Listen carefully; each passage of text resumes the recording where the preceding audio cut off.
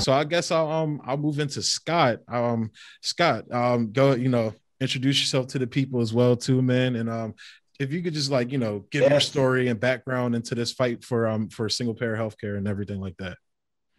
Yeah, um, Sharif was like really awesome. He honored me with the um, option to speak host a vigil at the DC March. Um, we'll be reading off names of um, other lost loved ones who to our healthcare system or more accurate welfare system. Um, I became very active two years ago when I lost my son Danny. Um, what happened was is he had come home to me one day and he's like, "Pops, I went to get my medicine filled and found out my insurance was canceled." I'm like, okay, Danny, no, not a big deal. I'm like, uh, how much is it? He tells me it was 250 bucks. You know, Jesus. it was a big deal because we didn't have it. And um, so I was like, well, Dan, you got an appointment with your therapist in a couple of weeks. I'm sure she can help you out. Um, in the meantime, we'll try to come up with the money and you should get a hold of Fidelis and find out what happened. Now, Fidelis is owned by Centene, which was the major profiteer off of the ACA's managed Medicaid plan.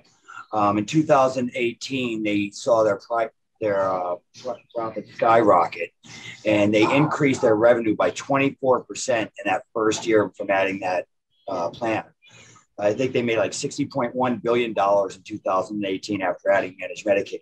Jeez. And if that ain't sick enough, um, last year during the pandemic, they've almost doubled that during the year of the pandemic to 111.8 billion dollars. Now, a lot of that revenue was actually um, funded because uh, or found because they didn't have to provide elective care for the first year, which is still health care. But it definitely highlights how much insurance companies profit by denying, not supplying health care. And that's what's being sold to us through the ACA. It did nothing to change the cost of our health care. Anyway, I get away from what happened. Um, so I, Danny's medication that he was on was risperidone which is an atypical antipsychotic that has a known suicidal risk upon withdrawals. So um, he calls up Fidelis and he finds out that he missed a $20 payment to his managed Medicaid program. Didn't even know he had it because, you know, he was fighting with his girlfriend and there's like legal problems between them. So he couldn't communicate with her and shit. So um, two weeks later, I see his post on Facebook on April 9th. Um, he says that he decided that he can't get above the pain and that this is selfish, that he super glued his seatbelt shut and decided death by drowning. And he said goodbye to his two children and drove his truck in the Mohawk River. Sorry. I saw his post like 32 seconds after he did this, you know. And my wife and granddaughter were at the table, and I screamed out, I got to go save Danny, you know, and told him what was going on and I jumped in my car and raced down to the lake because I just saw a picture of that he shared on Facebook of the cab of his truck overlooking the water, you know. And I figured maybe if I could get down there, I could save him, you know. And I, I couldn't, you know. Even even if I got there, the water was like 38 degrees. I have a heart condition, you know. If I jumped in the water, it would have been two casualties, you know. But I mean, I I swore to Danny in, in front of his at his funeral, in front of all of his loved ones and I'm going to make our lawmakers look me in the eye and see the consequences of their decisions. Because this shit ain't fucking right. You know, because my son didn't know he had a $20 payment. I forgot to mention, he made his $20 payment that day on the phone when he called them.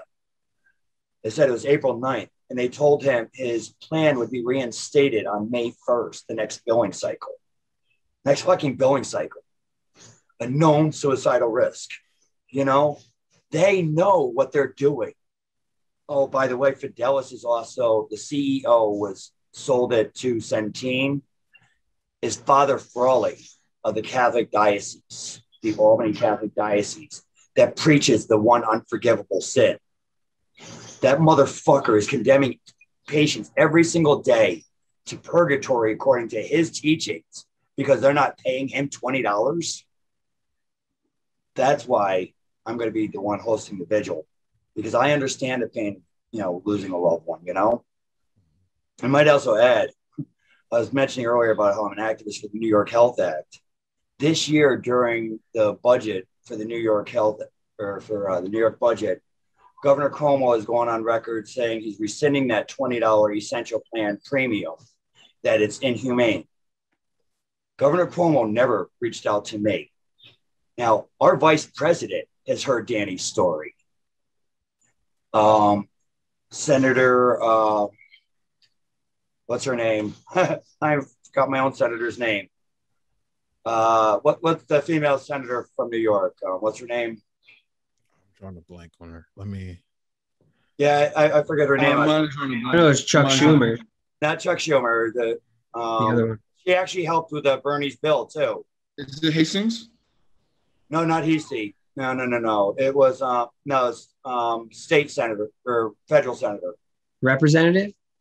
No. Anyway, it, my point is, is our vice president, Senator um, Representative Tonko has heard Danny's story. Kirsten Gillibrand. Kirsten Gillibrand, yes. Gillibrand. Kirsten Gillibrand has met with me. Thank you very much. No problem. uh, and she's heard Danny's story. Okay. Our vice president has heard Danny's story. Ro Khanna, on and on the list goes. So many politicians. And if you think Cuomo hasn't heard Danny's story when he sat down with the health committee, who both Gustavo Rivera and um, Dick Gottfried, both in the health committee, are floored by Danny's story, and they're discussing the $20 payment on that essential plan. If you don't think that story was brought up, you'd be wrong. Now, do you know why Cuomo didn't reach out to me?